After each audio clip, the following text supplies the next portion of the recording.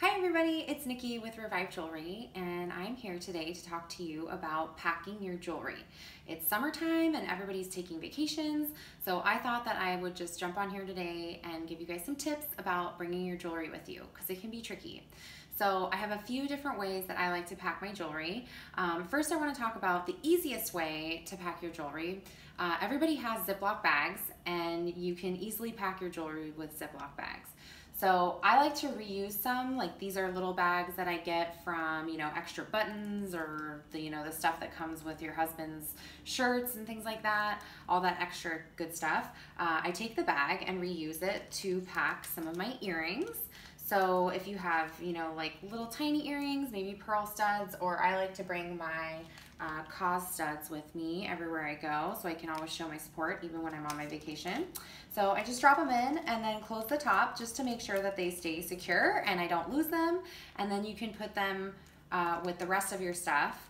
So uh, if you have some earrings, maybe you have some dangly ones like this and you don't want them to get tangled up in your suitcase, I have a great trick for that. You can actually just slide them in the bag and then kind of close the bag on the ear wire. So it keeps them straight. And then you just put the other one in the other side in the same way. And it's a little tricky to get them in there, but once you get them in, they'll be secure and you don't have to worry about them getting all tangled up. It's a nifty little trick. And then for necklaces, I use that same trick. So if you wanna bring some dainty little chains and you don't wanna just throw them in your bag, you can do the same trick. You can just lock them in, put the chain through the top and zip them up just like that. So you have the clasp hanging out at the top and then the rest of your necklace is in the bottom. This will this is guaranteed to keep this from tangling in your suitcase.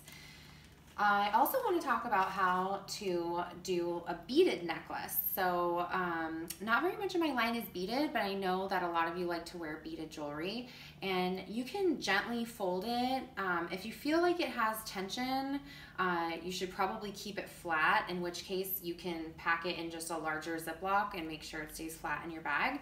Maybe that's a piece you don't want to take with you on your trip. Um, but if it folds nicely and you can feel like there's no tension in it, then you can just go ahead and put this one in its own little bag and just close it in there.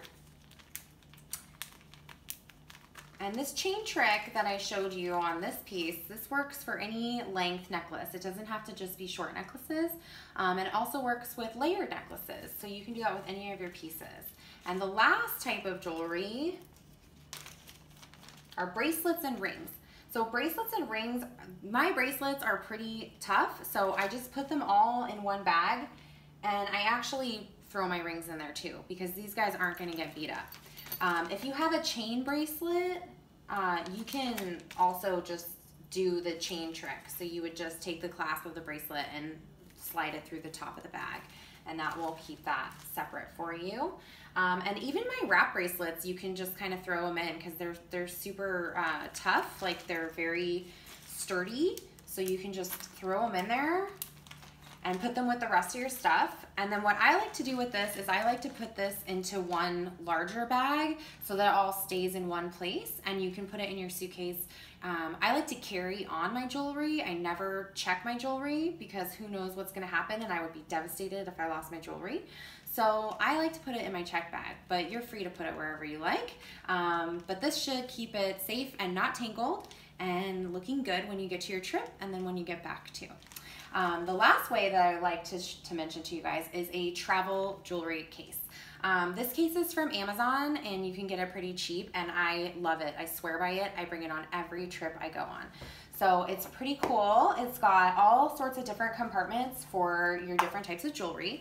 So here you have kind of a zipper bag where you can stick in some um, bracelets so I like to put my bracelets in there, or you can put any extras that you have. Maybe your husband needs to bring cufflinks and you can want to put them in here for him. You can stick them in this little pocket.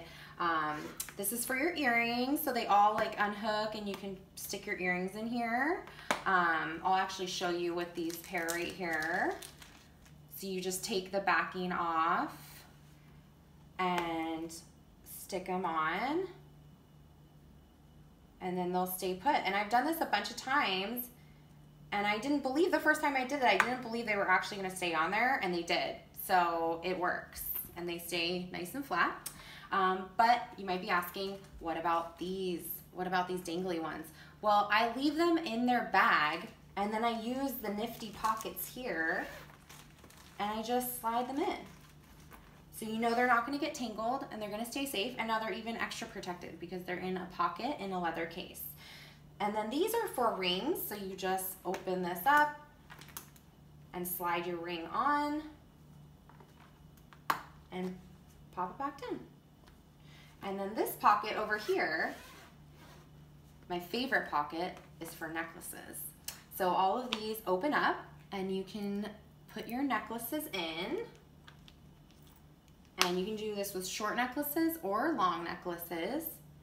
And you can do the long necklaces in one of two ways. So you can either put it in long or you can fold it over